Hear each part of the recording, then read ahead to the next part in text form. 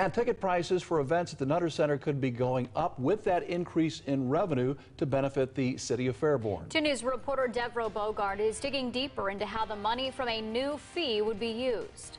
This new proposed ordinance would not impact Wright State University as this increase would be directed to the consumer. But the city says this could bring in hundreds of thousands of dollars and only cost the ticket purchaser a couple of bucks.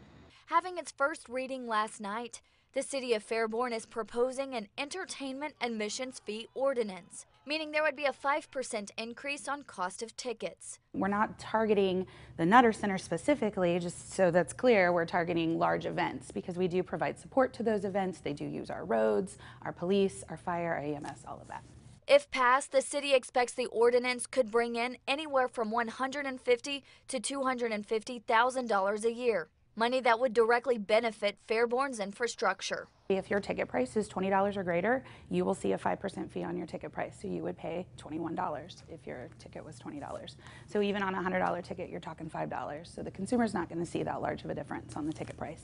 That money would be deposited into the general fund, used for any number of reasons like capital improvements or maintenance. We are excluding certain events, so the Wright State basketball will not be affected. Any charitable event, educational event, things to that nature, religious event, those will not be um, subject to the admissions fee.